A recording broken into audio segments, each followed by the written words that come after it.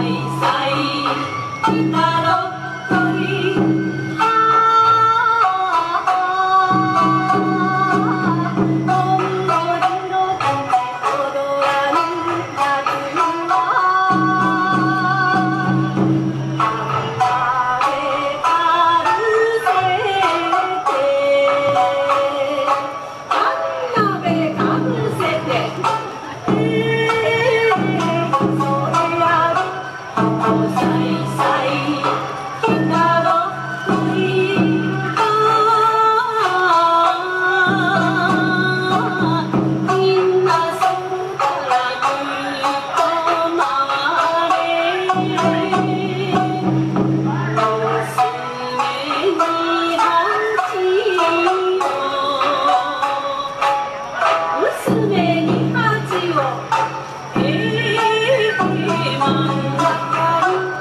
your face.